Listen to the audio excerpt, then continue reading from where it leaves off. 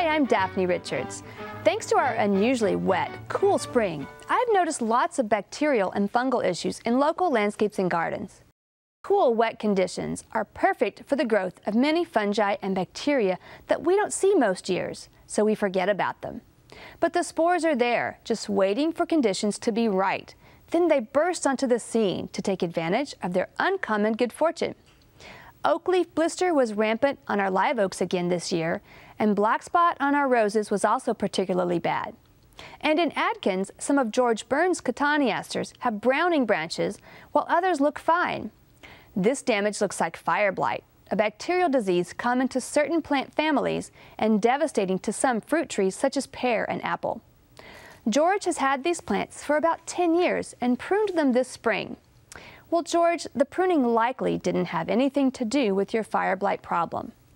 This bacterium normally develops in cankers in the woody tissue, then moves to infected tender new growth as it's developing and more vulnerable to invasion. When it rains in spring, spores get bounced from stems and branches into flowers and new growth, infecting the tissue and starting the process over again.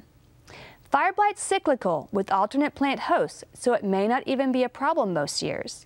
In your situation, I'd recommend pruning out the affected areas, making sure to clean up any leaf or branch litter around the plant. Late winter next year, check the bark for any oozing cankers and prune those out, making sure to toss all of that infected plant material into the garbage. If the problems persist, consider removing these plants and replacing them with species that are not susceptible to fire blight. Our plant this week is the David Austin Rose Abraham Darby. Last winter, Kristen Rosen won it in our online contest, and since then, she can't resist stopping to smell the roses. Indeed, this is a very fragrant shrub rose with lovely, delicate pink apricot flowers. This rose was named to celebrate inventor Abraham Darby, who, with his son and grandson, played an important role in the Industrial Revolution. Most roses bred by English plantsman David Austin are breathtaking, and many will do well in our climate. So if you're planting roses, you should consider them. But do your research. Some are not as tolerant of our heat and drought as we would like them to be. Others have challenges that you need to be aware of.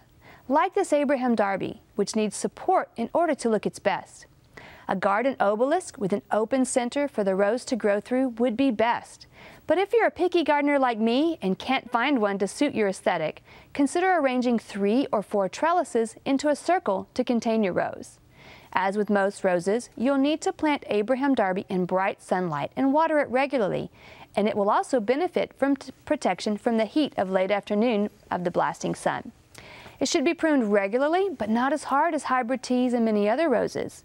Shrub roses prefer to be just that, shrubs. Your pictures this week feature butterflies. Kyla Rogers discovered a newly opened Gulf fritillary chrysalis on her red yucca. Soon after, it flew off to get its first meal. And Kirsten Chapman has been raising monarchs at home and in her classroom. This one was number 42 of the monarchs raised in her butterfly cage at home. And here's another on a Gregg's mist flower. She got lots of native wildflowers in her backyard and in May discovered many leaves with eggs and early instars of monarch larvae. And we'd love to hear from you, so please head on over to klru.org/ctg and send us your questions, pictures, and video.